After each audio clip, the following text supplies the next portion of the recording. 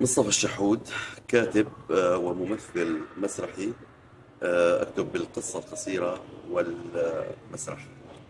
آه، طبعا كتاباتي كانت على فترة زمنية أكثر من عشر سنوات عم فيها. أكيد موجودة عندي لكن لم ترى النور حتى الآن بسبب الحصار اللي نحن فيه. طبعا دور النشر اللي موجودة آه، ب- آه، طبعا بتكاليفها الباهظة جدا. آه، هذا سبب من الأسباب اللي أنا فيه. لكن أتمنى أنه المجموعات اللي عندي والكتب اللي عندي ترى النور وبالأخص أنه من رحم هاي المعاناة ومن الواقع الاجتماعي اللي إحنا فيه. أنا عمار الأمير من مدينة إدلب.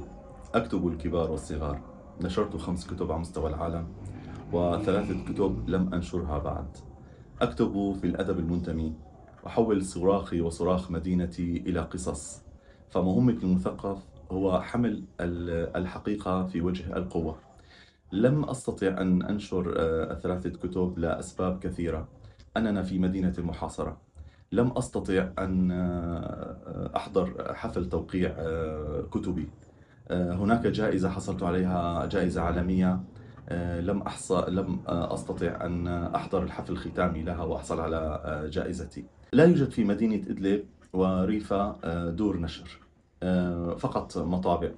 فدار النشر يجب أن تعطي للكاتب حقه.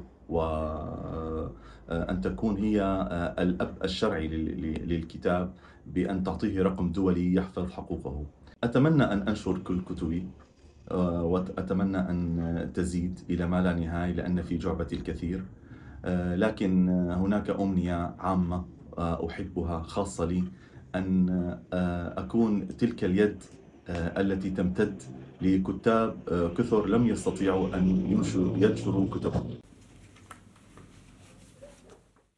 نور الدين الإسماعيل شاعر وكاتب أدبي عندي رواية منجزة من 2014 ومجموعة من القصائد الجاهزة المؤرشفة في أرشيف ورقي وأرشيف إلكتروني. وحاليا عم بعمل على كتابة رواية انطلقت فيها صار لي فترة وقريبا رح تتجهز إن شاء الله. لكن المشكلة الكبيرة اللي عم نعاني منها أنه لا توجد دور نشر وطباعة حقيقية في إدلب. ودور النشر المتواجدة في الخارج يعني في عدة صعوبات أمامك لحتى تحسن تتواصل معها وتنجز هذه الأعمال.